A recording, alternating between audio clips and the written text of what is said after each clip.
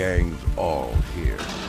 An all new season of American Greed premieres January 19th on CNBC. Coming up on the Suze Orman Show.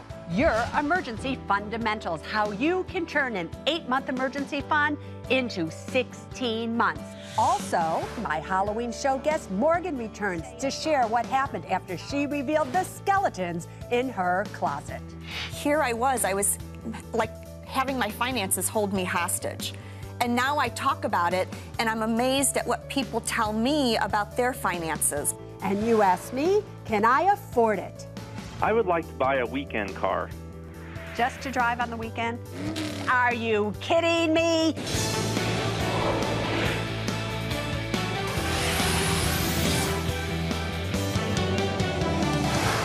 Hi, everybody. I'm Suze Orman, and you are watching The Suze Orman Show.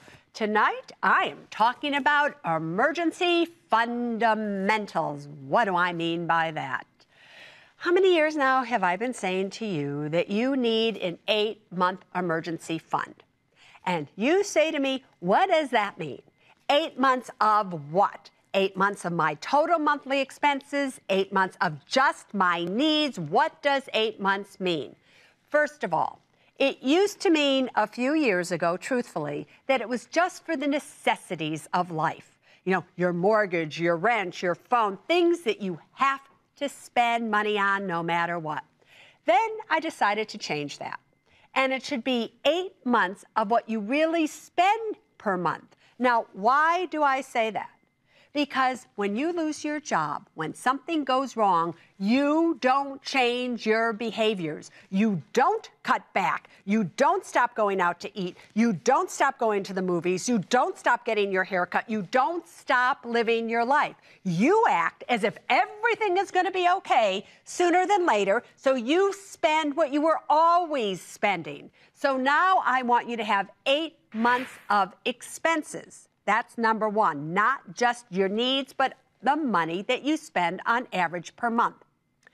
If you get yourself, however, in a situation where you do lose your job or something happens and you can't work anymore, you are not, and I underline, not, not, not, not, not, you are not to continue to live your life as if you are going to get a job the next week, a month from now, or even three months from now. At that point in time, and listen to me closely, if you were to cut back and go to just your essentials, not your life expenses, but just your essentials, that eight month emergency fund could turn in and last for you to what? 10, 12, 14, or even 16 months. You could actually double it. So if you save eight months of total expenses, you lose your job, and then you start living on just the minimum that you need.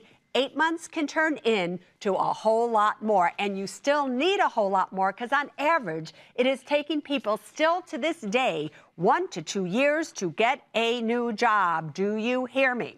So, cut back if something happens to you, save more than you think you need to, and if it does, you will be just fine. Let's go to Wisconsin, and we have Greg on the air. Hi, Suze. I'd like to thank you for inviting me on your show. We are such huge fans. Thank you. Who's we? My wife and my uh, two sons. We love that. All right, ask me your question, sweetheart. My question for you today is how and where should we invest in our emergency funds in today's turbulent markets? It seems to have become increasingly difficult to find an investment that provides liquidity, safety, and a decent rate of return. Uh, here's the truth of the matter is you are not going to find a decent rate of return anywhere for money that needs to be liquid, which means you can get at it at any time you want. It is just the fact of life. Until interest rates start to increase, they are simply low here. Now, with that said, I would rather see you have money that you can get at and not worry about the interest rate that you're getting than take a risk, invest that money for a higher amount of interest, and then you need it at a time when possibly that interest rate has decreased. Just leave it where it is. Glenn, you are on the Suze Orman Show. Hi, Suze. Hi, Glenn. Ask me your question. I am a 50 year old uh, former executive who has run out of uh, unemployment benefits. I've been uh, out of work for over a year and a half and still looking. Yeah. I owe 30k on my home and have 48,000 in emergency fund. Um, no other retirement accounts. Uh, my question is, do I pay off the home at this time, or do I hold on to what's left of my savings for emergencies? Yeah, let me ask you this question, Glenn. Why do you want to pay off your home in full? Uh, just a feel of security, knowing that I own my home clear, clear and free. Right. And Yeah. what would happen if you paid off the home? You have $18,000 now left to your name. That is it. You still have to feed yourself, pay for electricity, pay for everything. How long do you think, given that you have no money in retirement, now all you have left is $18,000, you're not going to get any more unemployment. Let's say you don't get a job, your wife doesn't get a job. How long will that $18,000 that's left last you? Uh, probably one year. That's it. One year. And Yeah. would you not be afraid that entire year that if something were to happen, your car breaks down, whatever it may be, wouldn't you have the same type of fear that you have right now, but just transferred it to the $18,000 that you have left? That's true. A year from now, it could be the same. Could be the same. So here's what I would do if I were you. I would make sure that I went out, and I don't care if that means that I have to wait tables. I'm a bartender. I don't care what I have to do. That I drive other, you know, I drive older people around, go shopping for them. I would find a way to make my mortgage payment of $243 a month. That is a very little amount of money to make in order for you to secure your home. If you did that, you would at least know that your home is safe and sound. You also can take $243 a month out of your emergency fund, which is $48,000 to pay your mortgage. And then once you get your job, then you have more money coming in. Then once you have your emergency fund built up again, if you want, take the $30,000 and pay off your mortgage. Because I have a feeling that you you financed this home a few years ago. Your interest rate is probably at 7% or so. So it doesn't make any sense. And it's all principal payment anyway at this point in time. So do it that way, but don't put yourself in a situation where all your money is in the house and you can't feed yourself. Let's go to Andy in Illinois. Ask me your question, my friend. Hi, Suze. I, I need your advice. Um, I play in a band on the weekends. Um, lately, I put most of my earnings in an envelope. I use this money for my music emergency fund for like repairs, ads, replacing instruments. Well, my family found out about the envelope and feels I should share my earnings. I think they're a bit off key. However, they have a point. Why should my gig money be any different than my day job earnings and my wife's earnings? She doesn't have a separate fund. We have the Suze Orman essentials like no credit card debt. I have an emergency fund and retirement. I want to know what's fair. Is my gig money just mine? Yeah, you know what's interesting is, Andy, did you hear how you said, I have an emergency fund? You did not say, no, sir, you did not say, we have an emergency fund. You did not include your wife in that. Why?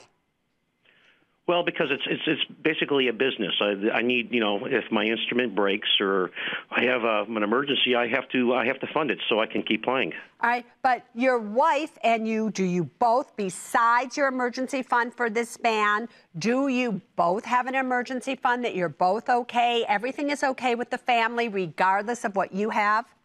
Absolutely. All right. I just have a question. How come you hid it from them? Well, I wouldn't. Well, uh, I guess I kind of treat it as, as as a business. I mean, I No, uh, you hid it from them. I have separate businesses. I have things going on, but I always tell KT, I always say, look how much money I made. Look what I have. Here it is. Da da da da. But you put it in an envelope and you hid it from them, and they happen to discover it. How would you feel, seriously, if all of a sudden you were looking through your wife's underwear drawer, for whatever reason, and you all of a sudden came across $5,000 that she had there?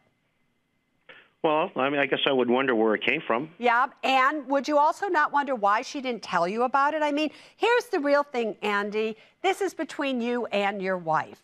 If you have the money, everything's going okay. I don't mind that you have money that you, you know, from your gig, as you say, that you get to keep separate. But you should share it with her. At least she knows it's there. That you have it, it's yours, she'll be happy for you. But the fact that you're hiding it says to me something else is happening here. Not exactly sure what, though. Up next, a Suze follow up. Everybody listen closely now because you're in Morgan's situation. Your parents don't know you have credit card debt. Nobody knows anything about you. What did they say when they finally heard it on the Suze Orman show? And later, in wanting something, ask me, can I afford it? I want to buy an airplane, a uh, used Cessna 172. For $30,000. Does your wife want you to buy this plane? Uh, no, she. Did your uh, wife get you to call into this show? Yes.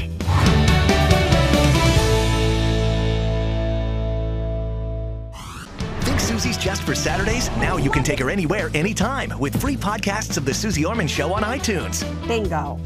Never miss another minute of Suze. To download full episodes, just go to iTunes and search CNBC's The Suze Orman Show.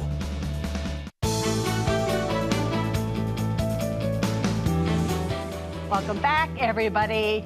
Now for a Suze follow up. A few months ago, actually, it was for Halloween night. We had two people on, Morgan and her friend Joey. Now, Morgan came on the Suze Orman show. She had some skeletons in her closet that she wanted to get out of her closet so that everybody could see them. In fact, take a look. For years, I've been shopping, dining out, traveling, and it was fun, but most of the expenses that I've had have been put on my credit cards. What she's trying to say, everybody, is that for years her husband never had a clue that she had $37,000 in credit card debt and an average interest rate of 22%.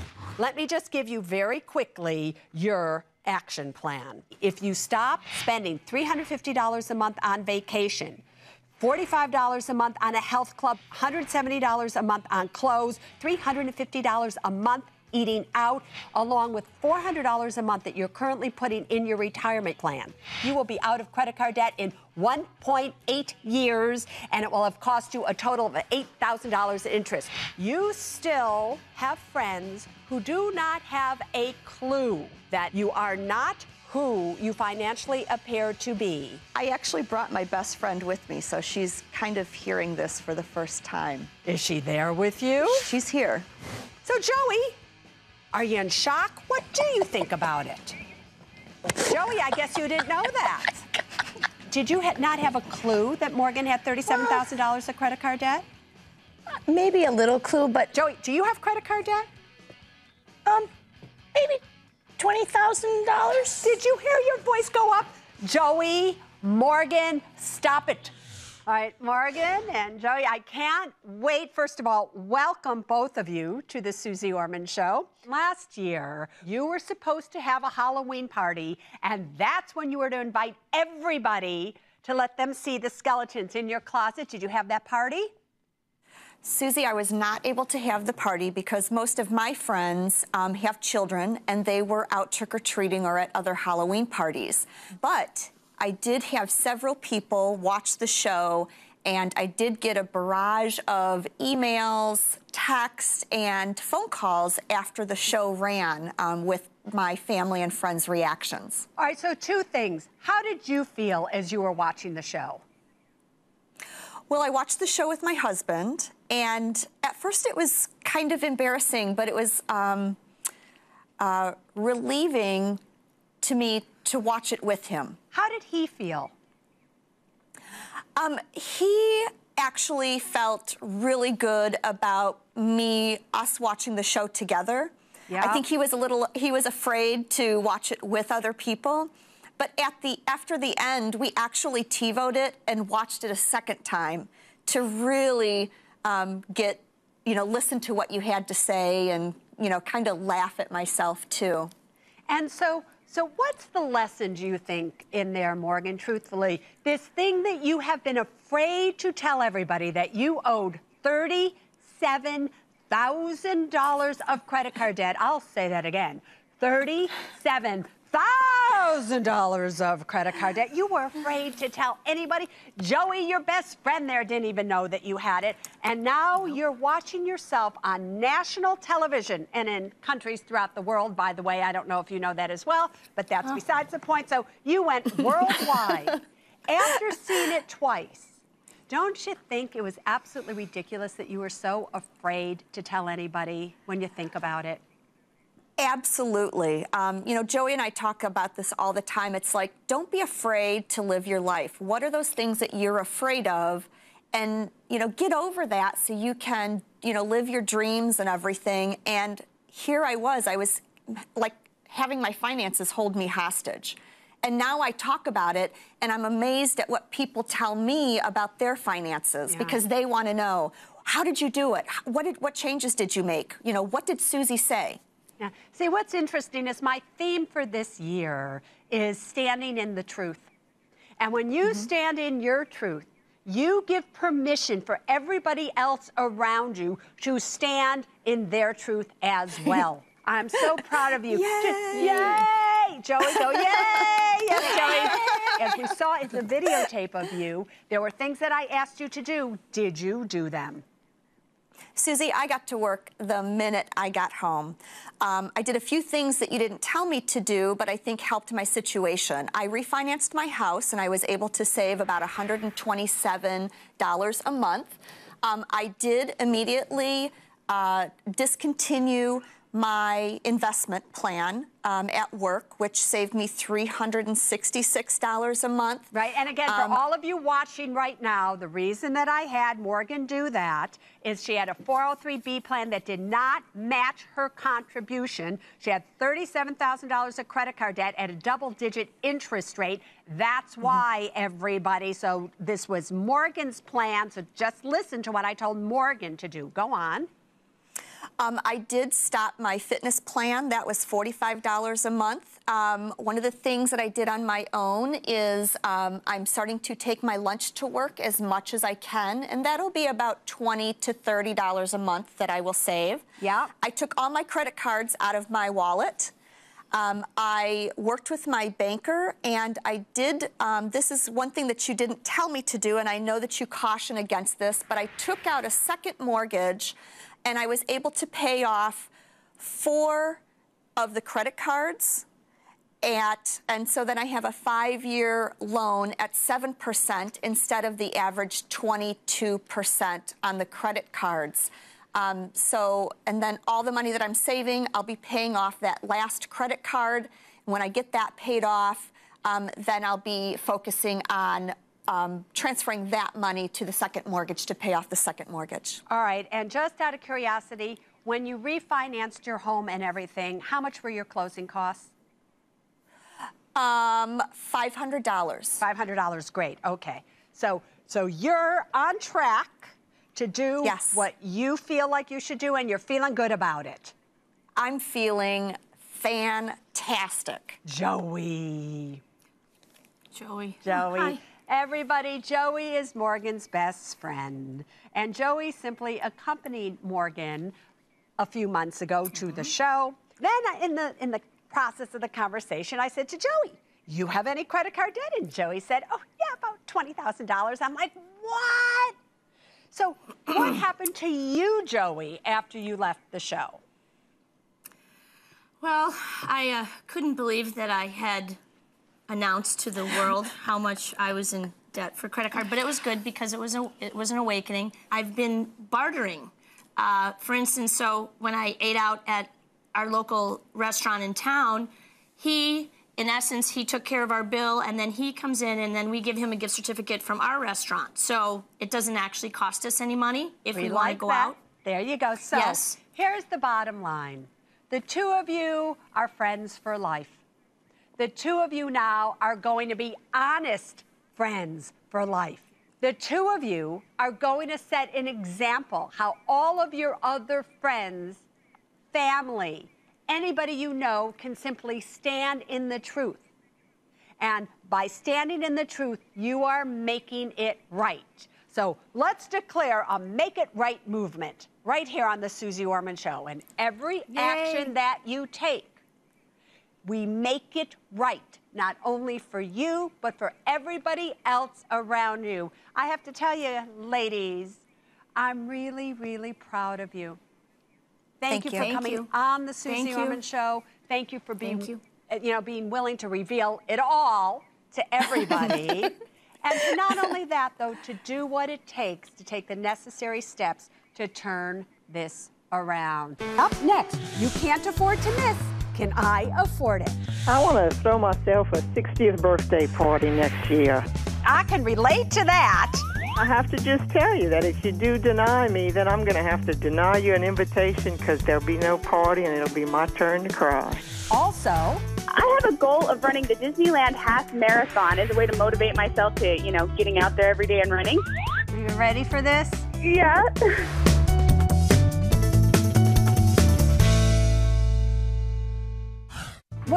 to buy? Cessna 172 weekend car. Projector and a screen for my teen lounge in the basement. All right, our favorite segment. This is where you call in, you tell me what it is that you want to buy, and I tell you if you can afford it or not. You ready? Let's go. Rodney, what do you want to buy?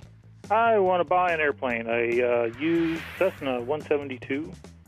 For $30,000. Have you ever owned a plane before? No. No. Do you have any idea how expensive it is to own a plane? Windshield cracks, engine needs repair. Do you have any idea? You just don't buy a plane. You really, they are seriously expensive. The fuel, everything. Mm-hmm. Yes, You've done your research. I've done some research, yes. All right, some research, boyfriend. Let's fly high here and show me the money. Okay, well, I make uh, $3,500 a year, or $3,500 a month in my uh, job. I get a $2,280 a month in uh, pension from the Navy. Uh, I have expenses approximately $4,125 a month. Um, we have not very much debt, uh, just a smidge less than 100000 in a 30-year fixed mortgage at 6.5%. Uh, we have $350 in credit card debt at 0% interest, which will probably get paid off this month. Uh, savings, we have 8000 in uh, liquid, uh, 7000 in various investments, and uh, 15000 in my 401k. Have you been spending too much time up in the air? Right. Seriously, you were a little lightheaded here. Does your wife want you to buy this plane? Uh, no, she. Did your uh, wife she- get you to call into this show? Yes, she did. Yeah, denied. You do not have, you are 50 years of age. You don't have any emergency fund, so to speak. You don't have any retirement account, so to speak. You have a little bit of credit card debt. You still owe money on your home. How are you going to pay for this? I don't even want to ask you because you don't have any money to pay for it. You are simply grounded. You are not taking off here on the Suze Orman Show. Jennifer, what do you want to buy? Hi, Suze. Hi, Jennifer. I just had my third baby, and I've taken up running as a way to get back in shape and set a good example for my kids. Yeah. And I have I have a goal of running the Disneyland half marathon as a way to motivate myself to, you know, getting out there every day and running. Yes. Um, I never do anything for myself, and this is something I really want to do for me. However, since I'm a mommy and I want my family's everything to me, I really wanted to include them and take me with, uh, take them with me. So I want to run the marathon for myself and do a Disney family vacation for everyone. Uh, I am going to keep my fingers crossed for you. You know that I'm seriously into moms right now. Do you know that? I have a new website that I created called moneymindedmoms.com.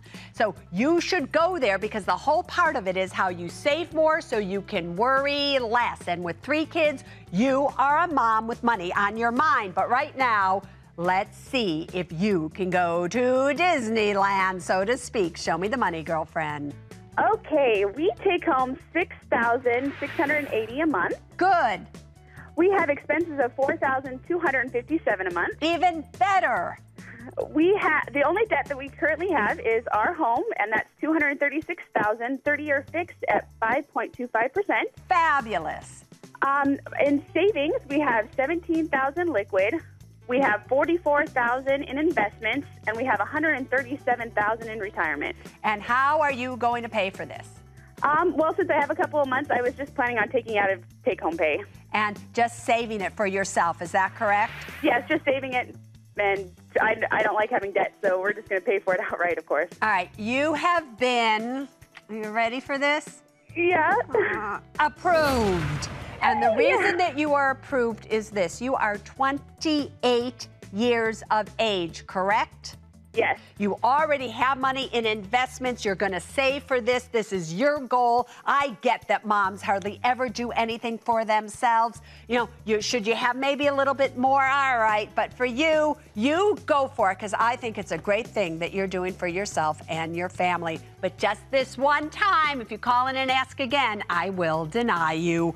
All right, Marie, what do you want to buy? I want to throw myself a 60th birthday party next year. You know, The- I, the can re- I can relate to that. We're 60 together. There you know, go. I'm telling you. So it's three. Well, the, the Lord has blessed me with a great family and friends, and I'd like to just get together with them and have a dinner and dance. There's a special place I'd like to rent and uh, have a DJ to play some good old 50s and 60s music so I can dance into that new year of 60. and, and I have a question for you. Uh-huh. I bet this is the first time you ever, in your 60 years, threw yourself a party, right? Actually, not. I threw myself a party at 50. At 50. So you do this every decade. You're you're a, you're a decade kind of gal, huh? Yeah, but I kind of want to do it a little bit special, a little bit bigger than than at 50. You so. got it. Show me the money, sweetheart. Well, before I do that, I have to just tell you that if you do deny me, then I'm going to have to deny you an invitation because there'll be no party and it'll be my turn to cry. Oh, well, you know what? Then you're just approved.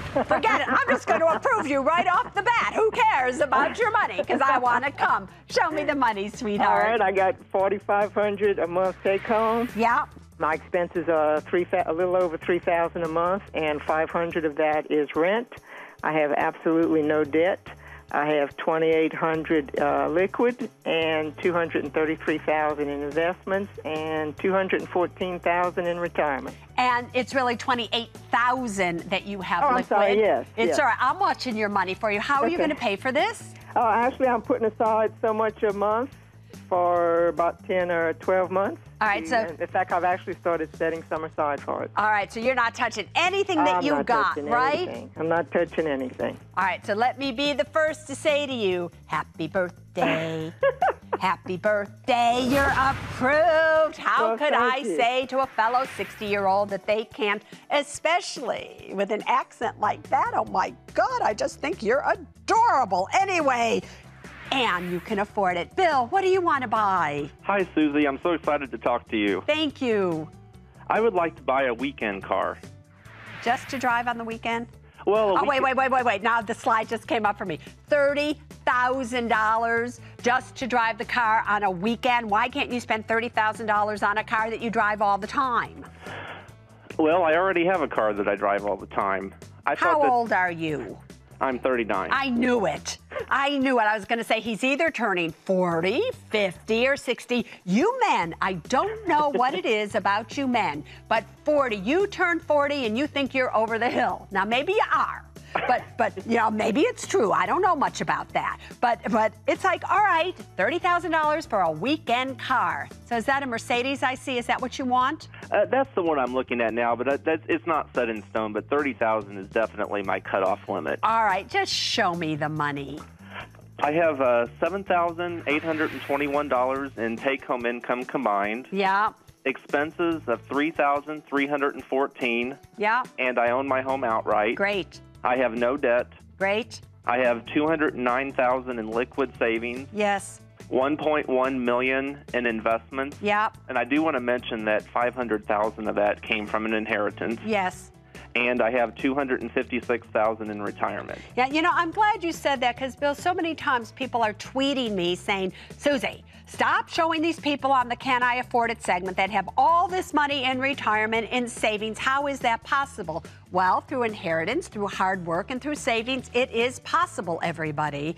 But the question is, can Bill, at the age of 39, take $30,000 and spend it on a weekend car? I hate to do this to you because I know you really want it, but you have been approved because you can afford it. Should you do it or not? Are you kidding me? Gary, what do you want to buy? Hi, Suze. I love your show, your show so much. Oh, thanks, Gary. How old are you? Uh, I'm 15 years old. I am just loving that the 15 year olds, the 12 year olds, the 18 year olds are watching my show. You know, I did a book signing and a talk a little bit ago in New Jersey, and we had kids galore who were 15 years of age came to hear me speak, and I'm like going, Are you kidding me? But I could not be happier. Sir, what do you want to buy? Uh, I would like to buy a projector and a screen. For what? For my teen lounge in the basement. So you want to spend $500 for your friends to come and be able to watch movies and all of that so you could impress them, correct? Correct. All right. Is this a need or is this a want? This is a want. All right. You are 15 years of age. In just two more years, are you going to be going to college? Uh, yes, that's the plan. That's the plan. And who's going to pay for that? Um, my parents. And your parents are footing the entire bill? Um, hopefully. Hopefully. But you don't know for sure, right? Correct. Do you see your parents at all struggling with money? Um, no, not really. Not really. Do they talk to you about money? Do you even know how much your father makes? Um, no, I do not know. Do you know how much your mother makes? No, I do not. So, really, we have a family here that doesn't discuss finances at, at any level. Correct. Correct. So you're just assuming that they're going to pay for college, everything's going to be okay, but yet they never talk to you about money. Show me the money. Okay, I take home $196 a month. Yes. With $76 from allowance and $102, $120 from babysitting. Great. Yes. And my expenses are $93 a month. Yeah. Um, I have no debt, and my savings are $3,000 in liquid and $3,000 in investments. All right. And you want to know, so you have $6,000 that you have, and you want to essentially, with taxes and everything, spend 10% of what you have on this projector for a want to impress your friends, correct? Yes. Should I approve you or deny you, my dear Gary? Um, I would really like if you could approve me. You would like if I could approve you, but because I love you, I have denied you. Aww. And I'm denying you not because you don't have the money right now, because you do. But the question is going to be since you haven't talked about money to your family, in two years from now, who is paying for what? Is the $500 worth it to watch this for maybe a few times during the next two years when you will need money to go away to college? Think about that, boyfriend. Yeah. Want to be part, and by the way, all of you should talk to your children about money. Okay, want to be part of the Can I Afford It segment? All you have to do is go to my website, suzeorman.com, and you will find the information that you need to know there. Come on, say it with me. To come and play with me, do your hand like this right here. Yeah. Up next, Debbie wants to know, Suze, how am I doing? You do know the key to enjoying life isn't just are you physically okay, but it's if you're financially okay as well.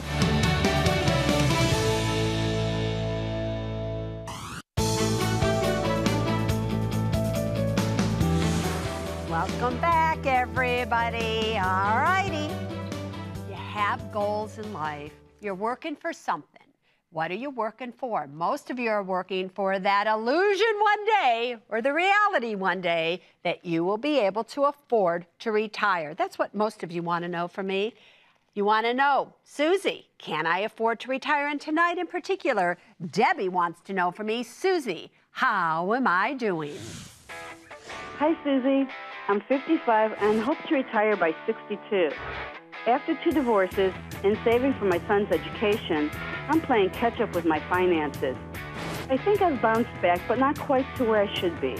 I eventually want to spend more time with my twin sister, volunteer at the Humane Society, and enjoy life while my health is still good.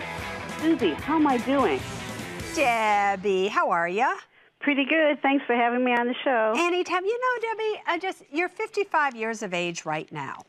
And it so confuses me because so many of you at 55, and I can talk to you like this because I'm going to be 60 this year in just a few months.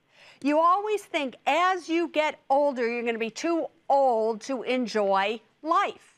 And you do know the key to enjoying life isn't just are you physically okay, but it's if you're financially okay as well. You got that? Right. So it's really important. This is a very very important decision that the two of us together are about to make. If you were going to give yourself a grade based on what you have right now, what you think you will have seven years from now, in answering the question, can Debbie afford to retire at the age of 62? What grade would you give yourself? Probably a C plus. Then why are you even asking me? why are you even asking? I'm serious. Because you would only want to be able to graduate with an A for you really to be able to retire. Don't you think it's either perfect or it's not? But, girlfriend, before I give you my grade, let's look at your money. She has income of about $4,000 a month and expenses of about $3,200 a month. She has $231,000 in retirement. $3,300. I'll repeat that. $3,300 in an emergency fund. $5,800 in investments. Her current home value is $148,000. She has consumer debt of $5,800. Most of that, a car, things like that. Mortgage debt, $58,000. So she owns about $390,000 worth of assets. She owes about $64,000 on those assets. So we have a 200 some odd thousand dollar net worth. Now, like most people, the only way that Debbie is going to be able to afford to retire at the age of 62 is Debbie will qualify for a pension. Is that correct? Yes, it is. Okay. You also have a plan that your home that you are currently living in, that you want to stay in, I believe, will be paid off at the age of 62 as well. Is that correct? That's my goal. All right. If I were to look at what you have, what you're about to have, and everything, in answering your question, I have to tell you, I agree with you. I give you a C or a C plus. If you're going to retire at 62, let me tell you why. You know, once you've retired, you have more time. You get to do more things, and actually, your expenses can go up in retirement rather than down. So, just for safekeeping, let's make it that you need $3,000 a month after taxes for you to be okay at the age of 62. Your before tax pension is $3,111. Your Social Security is $711. So that gives you $3,822 before taxes or after taxes, because your Social Security will be taxed as well, 85% of it, $2,900 a month after taxes. So you're just about making it. Now, I understand that you have money and everything. You have about $201,000 and whatever it may be in all your retirement accounts, and that you're going to continue to contribute to all of these. Let's just say by the time you're 62, you have $275,000 in these retirement accounts. At most, even after taxes, that's another five or six hundred dollars a month. So even if you were to withdraw money at that time from these retirement accounts, you're at thirty-four hundred dollars a month after taxes for the rest of your life. If you get ill, you have to go into a nursing home, anything happens, there is not enough money for you to be able to do so. However, if you just were willing to work a few more years, just another three years. We're already in 2011. Time is always flying. If you just worked till you were 65, then I would probably be giving you a B plus. Why? Because at 65, your pension goes up to $4,400 a month from $3,100 a month. Your Social Security, because of what you do, essentially stays the same. So you're at $5,100 before tax. After tax, you're at about $3,800 a month. You could essentially make it. You could leave your $275,000 in your retirement account to grow and grow and grow in case of an emergency. And if you needed it, so what? It's another five or six hundred dollars a month, but I don't think you'll need it. If you did it that way, you would have a good $2,000 extra per month from probably what you'll really need, and you'll be just fine because I still have your nest egg of $275,000. That is your way to an A. She did something that I wish she hadn't done. I did a few things that you didn't tell me to do, but I think helped my situation. She looked so happy. She was so enthusiastic. She had done so well, truthfully speaking, that I didn't want to squash her.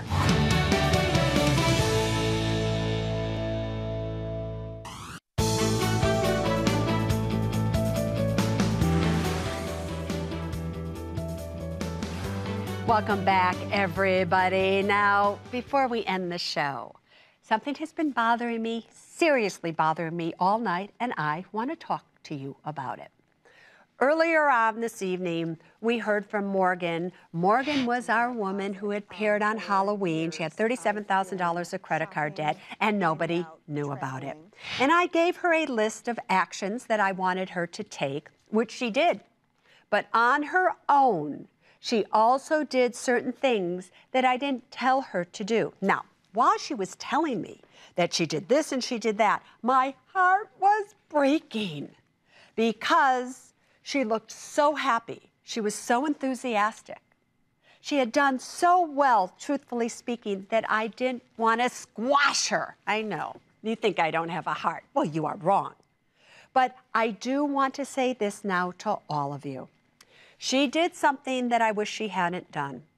She actually refinanced her home and took out a second mortgage as well to pay down credit card debt. I refinanced my house and I was able to save about $127 a month. I took out a second mortgage and I was able to pay off four of the credit cards and so then I have a five year loan at 7% instead of the average 22% on the credit cards. How many times have I said to all of you, you are never, ever, ever to take unsecured debt, which is credit card debt.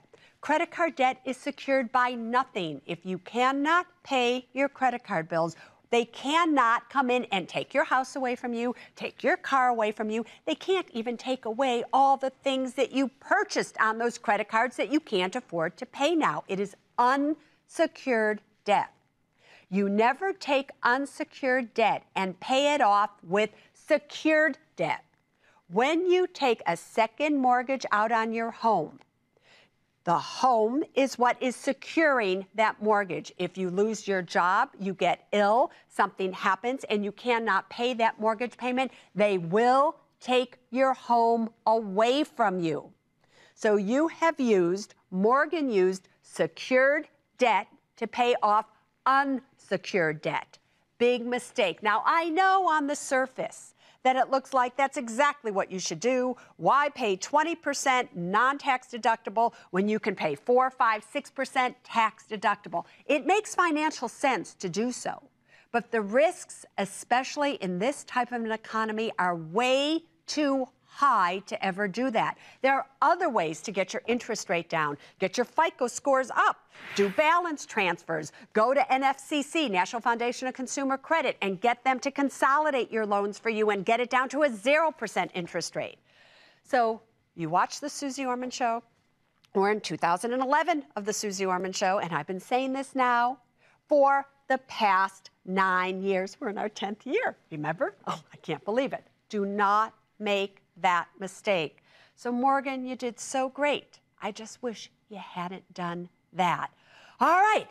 Until next week, however, there's only one thing, just one, that I want you to remember when it comes to your money, and it is this people first, then money, then things. Now you stay safe.